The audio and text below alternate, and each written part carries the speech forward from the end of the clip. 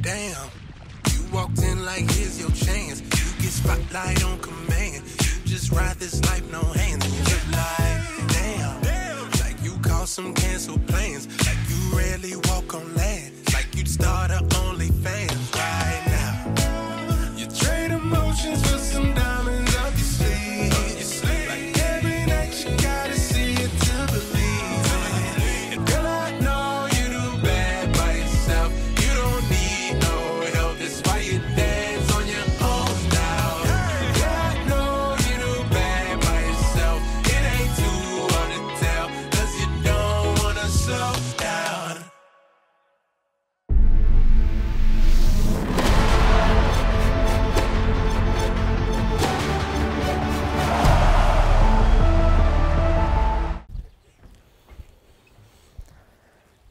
Günaydın. Çok güzel bir güne uyandım Fethiye'de. Harika bir gün. Ve denizleyiz bugün. Yelken sporunu işleyeceğiz. Yelkenin ana temasını yani başlangıcını işleyeceğiz. Rüzgarla ilgilenen veya rüzgarla ilgili sporlarla ilgilenenler aslında yelkenle başlayabilir bu işe. Biz bu teknedeyiz bugün. Gün boyu onun üzerinde olacağız. Gece de burada kalacağız. Tabii kaptanımız Zafer. Hocam bugün o benim. Bana bugün bütün denizci terimlerini ve bugün yelkene dair her şeyi öğretecek ve güzel bir bölüme sizinle birlikte başlayacağız. This is my house.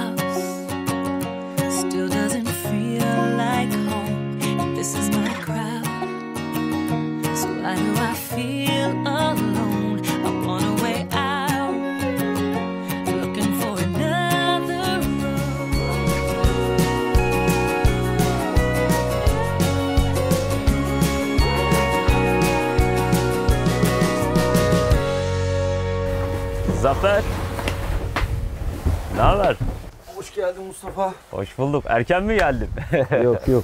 Tam vaktinde geldin kardeşim vallahi Tamam. çok iyi ya. Günü değerlendirelim dedim. Ben biraz İyi- Erken iyi gelmek istedim. ya. Ben de son kontrolleri yapıyordum içeride Evet. işte. teknen çok Aynen. güzelmiş. Eyvallah sağ olasın ya işte. Bugün bu yelkenliyle Fethiye Göcek arası Aynen. Rüzgar canavarı. İnşallah bugün çıkarken e, ve girişte sadece motoru. motoru çalıştırırız umarım yani. Aynen. Bütün gün rüzgar iyi gözüküyor. Ben baktım iyi veriyor rüzgar. Aynen. Sende de büyük ihtimal iyidir. Aynen aynen. O zaman güzel bir bölüme başlayalım. Aynen. Aynen. Tamam. Aynen Mustafa'cığım. Mustafa biz buradayız. Ee, buradan Fethiye'den Fethiye'deyiz yani. Fethiye'den çıkacağız.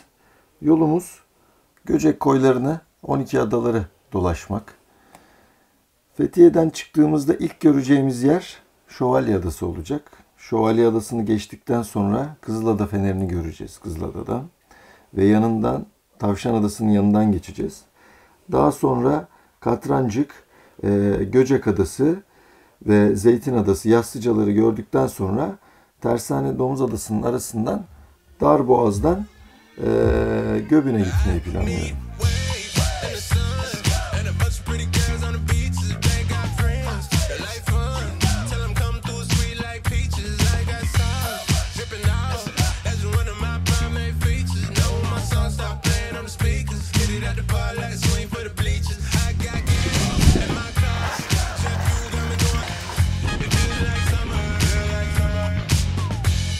Deniz her zaman huzurlu ama bugün bu huzur için değil de yelkeni öğrenmek için çıktık tabii. İlk çıktığımızda biraz yani çok heyecanlıydım ama e, öğrenme bu işin aşaması biraz evet moraliniz bozulabilir. Öğrenirken her zaman bu işte kural budur. E, çok ifadeler var, çok tabir var yani denizcilik tabiri çok. Zafer de o kadar alışmış ki bu ifadelerle hayatı artık evde, teknesinde böyle geçiyor. Tabii benim biraz alışmam zaman alacak. Çünkü denizciliğe ait bayağı bir ifade var.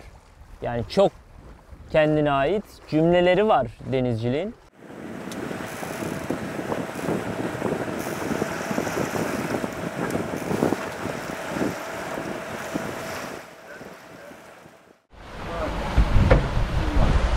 Güzel.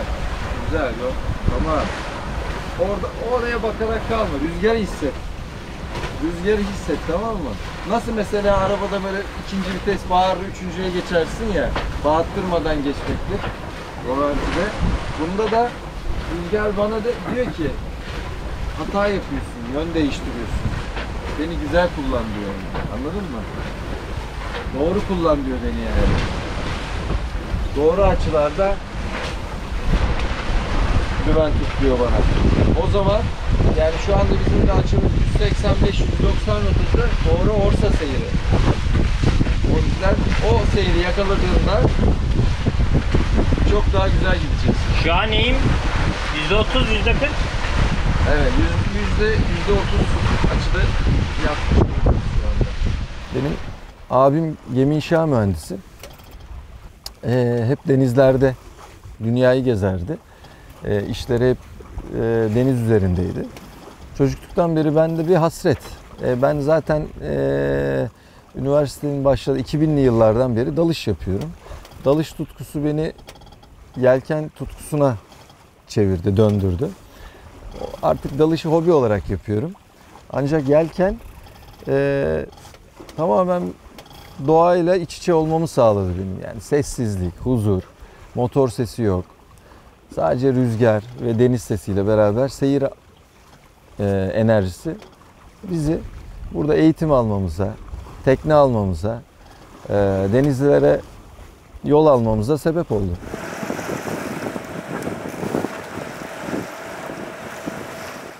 Hazır mısın Alesta? Alesta! Alesta Tromola. Bekle. Bekle. Şimdi. Çek. Çek. Çok güzel be. Çok güzel be. Yapıştır. Çek çek çek çek çek çek çek çek güçlü. Sar sar sar sar sar sar sar sar. Aferin Mustafa çok iyi. Şimdi biraz düzensiz oldu ama çek yanına. Çek çek düğüm ol. Çek çek çek çek çek çek çek. Yelken öğrenebileceğiniz en en güzel yerlerden bir tanesi Fethiye koyları, Göcek koyları. Çünkü bu açıkta her zaman güzel rüzgarlar yakalıyoruz. Yani kuzeyden, kuzeybatıdan hep güzel rüzgarlar yakalıyoruz. O yüzden e, isterseniz ileri seviye eğitim almak için, isterseniz başlangıç seviyesi eğitimler almak için rüzgar buna müsaade ediyor. Bu koylar hem dünyanın en güzel koyları, cennet gibi koylar, görselliği çok yüksek koylar, hem de yelken eğitimini yapabileceğiniz, keyif alabileceğiniz en başarılı yerlerden birisi. Mustafa, şimdi arada serpintiler geliyor. O serpintiler bizi yatırıyor. Tamam mı? Onlara dikkat edeceğiz.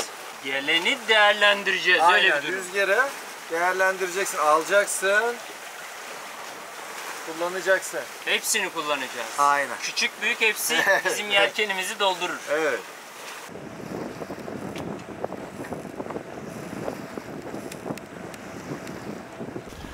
Yani rüzgarın eğer biz tam teknenin kemere kısmından alıyorsak, orta kısmından teknenin alıyorsak rüzgarı bu apas seyri demektir. Orsa seyriyle eee apas seyri arasında bir rüzgar seyrinde gidiyorsak bu da dar apas olarak geçiyor. Eğer iskele kıç omuzluktan ya da sancak kıç omuzluktan rüzgarı alıyorsak bu da eee, geniş apas seyri.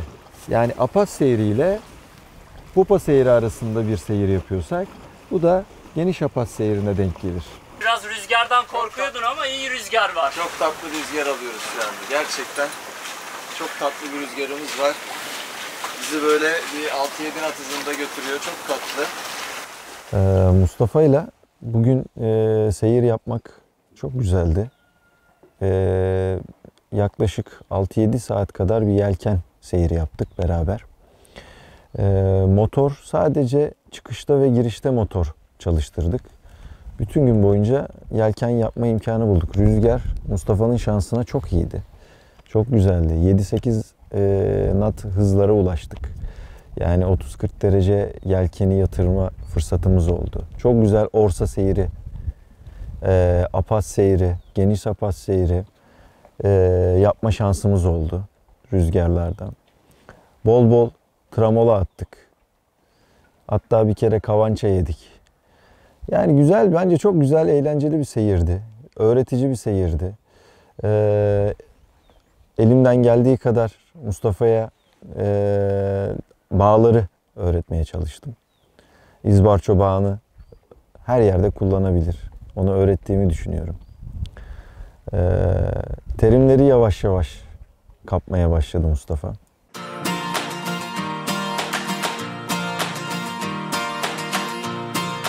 Mustafa, şimdi e, birkaç bağ göstermek istiyorum ben sana. Denizcilikte en çok kullanılan bağ bizim bu izbarço bağı dediğimiz. İzbarço. İzbarço bağı. Aynen. Yani bu denizde hayat kurtarır. Tamam mı? Yani bunu bil, düğümlerin yarısını öğrenmiş gibi oluyorsun. Dediğim gibi yani halat bağlamanın, bağların yarısını öğrenmiş gibi oluyorsun. Çünkü yelkende en çok kullanılan düğüm bu.